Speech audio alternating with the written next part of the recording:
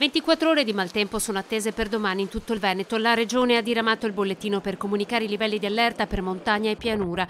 Nelle terre alte già a quota 1000 è prevista la neve, mentre in pianura, in tutta la Marca, la pioggia arriverà copiosa e battente a tratti. Avrà carattere di rovescio. Si parla intorno ai 50 mm, queste sono previsioni. 50 mm in 24 ore vogliono dire 50 litri in teoria di, di, di acqua, 50 litri di pioggia per ogni metro quadro di suolo e montagna naturalmente poi già a quote basse, diciamo al di sotto dei 1000 metri, naturalmente questa sarà neve e anche queste come previsione diamo intorno ai 20 cm di, di, neve. Lo stato di criticità sarà arancione, quindi alto per rischio idrogeologico e giallo per rischio idraulico in tutta la Marca, stato di attenzione anche per i venti molto forti. E naturalmente il terreno non farà in tempo ad assorbire tutta la pioggia, c'è il problema del dilavamento, quindi non va a nutrire molto bene il terreno in profondità.